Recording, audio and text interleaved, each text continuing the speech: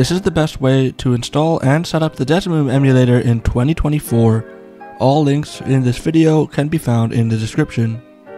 To start off, we want to go to the Desmume page.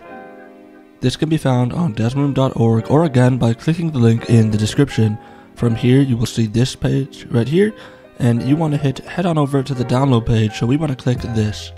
From here, you will see two options, either choose the stable releases or the nightly builds.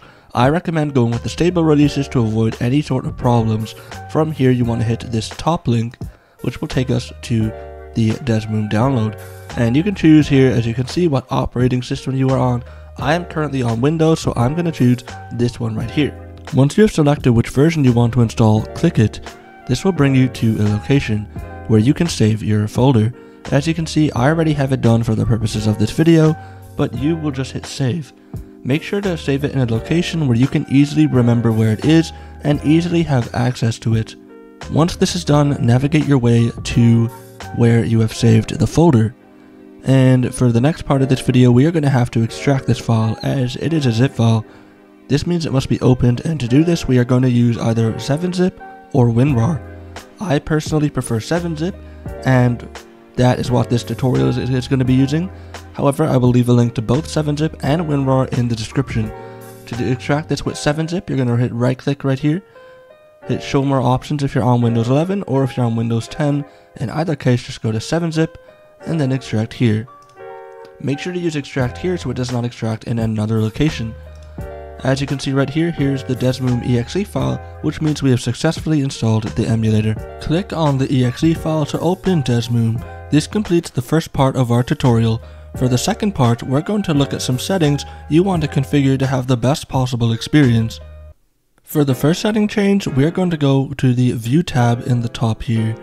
And click on this and then change the window size. You can set this to whatever you find most comfortable, however I personally am going to use the 2x screen size.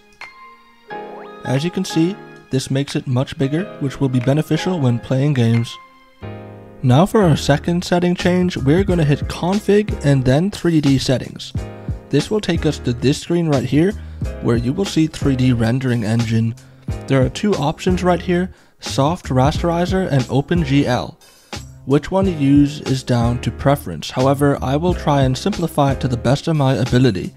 Soft rasterizer renders the games from your processor, whereas OpenGL renders the games from your graphics card whichever one is more powerful you want to use there. For example, if you have a very good GPU, you would use OpenGL, as your GPU is able to handle the power of rendering your games. However, if you have a very good CPU, you would want to pick Soft Rasterizer, as your processor is what excels in your system. I do understand that this is a very complicated area and that many people may be confused. If you do have any questions or inquiries, please do leave them in the comment section below, and I will get back to you regarding this as soon as I possibly can. I want to be very clear with this next step, it only applies if you chose OpenGL in the previous step.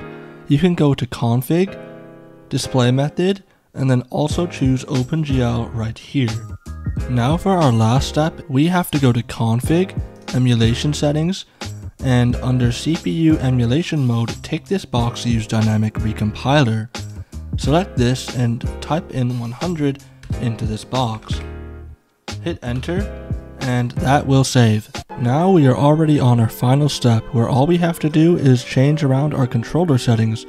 To do this, hit config, then scroll down to control config.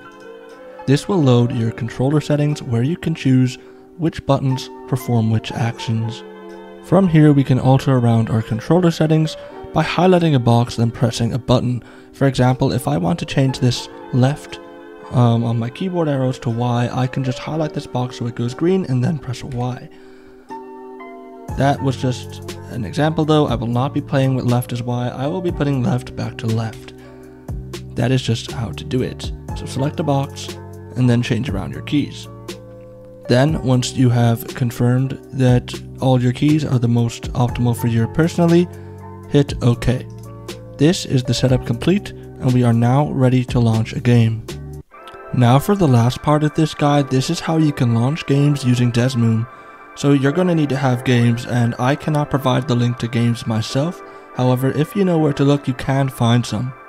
Once you have a game, save it to a location where you can easily remember it. This is where I've saved my location to if you want to use something similar. For this example, I have Mario Kart DS, however it can be any game of your choice. Click the game, and then holding left click, move it around. This will allow you to drag the game. We're going to utilize this tool to move Mario Kart DS, drag it over here, and place it onto Desmume. This will launch the game. And as you can see, the game is being read and Mario Kart DS has launched. That's going to be it for this video. I hope you found this tutorial useful. Thank you all so much for watching if you made it this far into the video. Please consider liking and subscribing as this did take a lot of work. Also, of course do not be afraid to leave any questions you have in the comment section below. I will of course answer every single one to the best of my ability. Thank you so much for watching and I will see you all in the next video. Goodbye.